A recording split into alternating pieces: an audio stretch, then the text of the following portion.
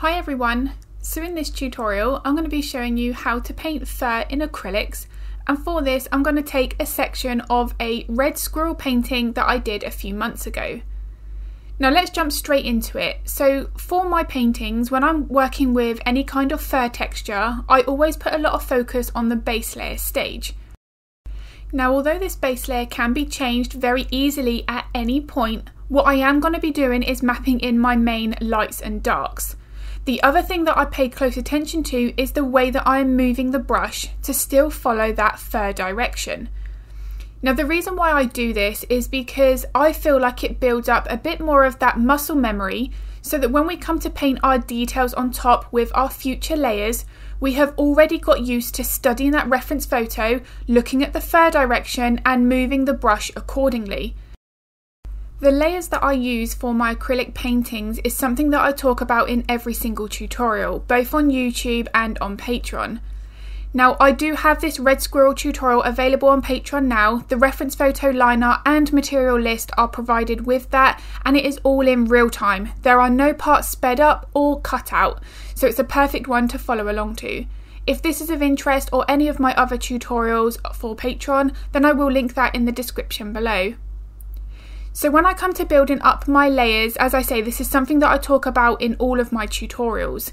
I want to make sure that I've got as much depth in my base foundation as I can before I jump into my details.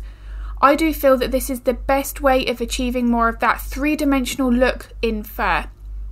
Now this is going to depend on the fur texture because how I paint something like a border terrier with the wiry coarse fur is going to be different to something that is very soft like a long-haired German Shepherd for example.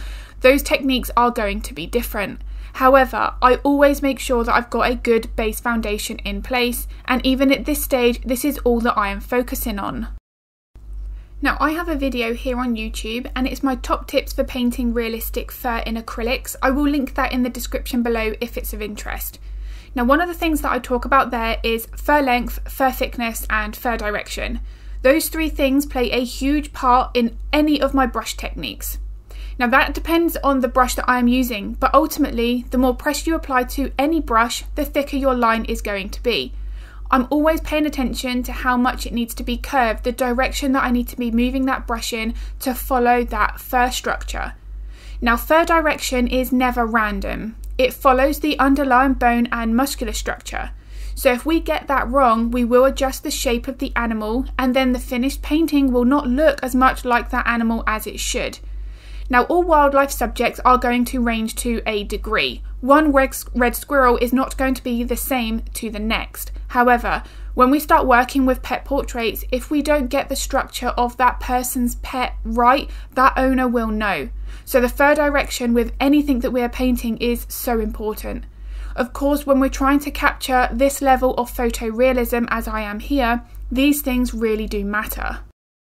And this section of the red squirrel is a prime example. Look at how it slopes down from just below the armpit, it then curves down towards the lower edge of the canvas and then goes across to the left hand side.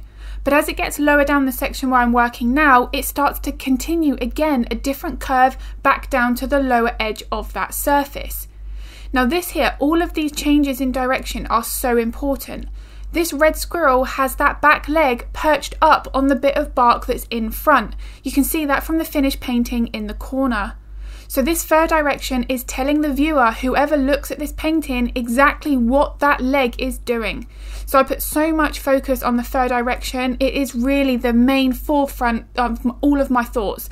Any layer that I'm working on, no matter what it is, I'm always thinking of that fur direction and why is it traveling in that way. So I talk about the benefits of using glazes to adjust colour when working with acrylics because it really does take out all of the stress about worrying about which colours we should be mixing throughout the layering process.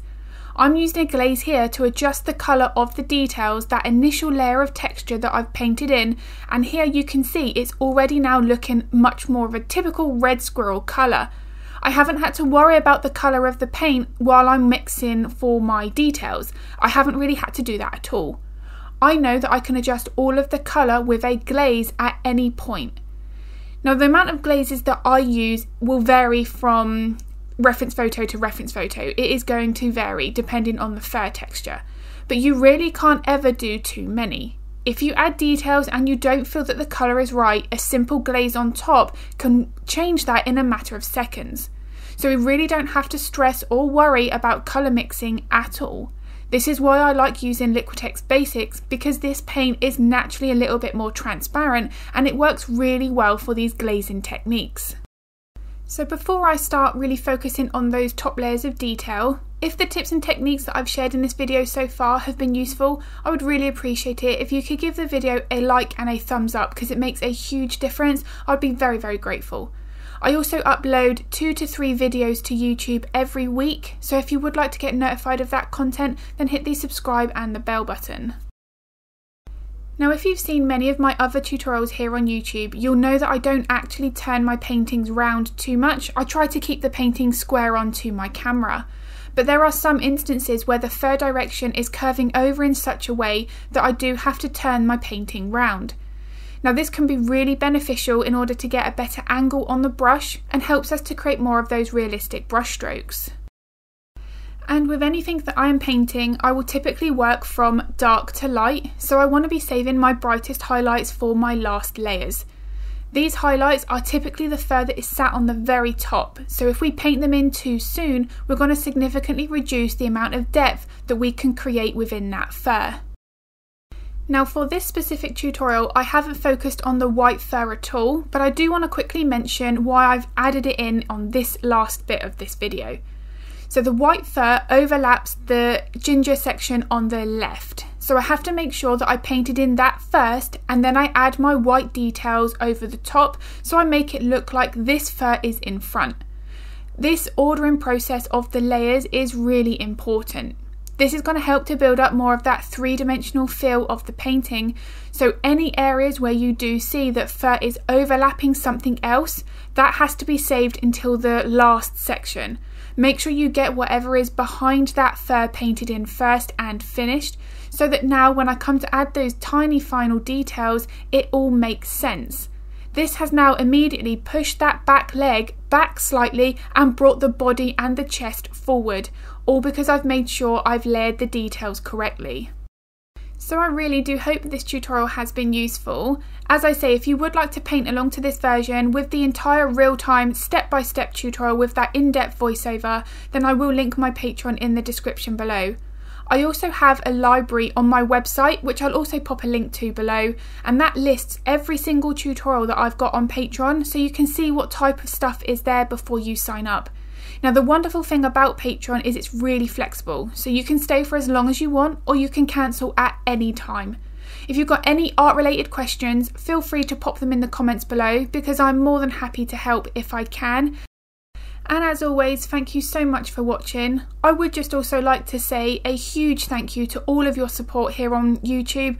I really am so grateful. All of the likes, the comments, the such kind feedback that I get, I really do appreciate it and I have so many tutorials planned for 2023, but I am now taking suggestions for animals that you would like to see featured in tutorials.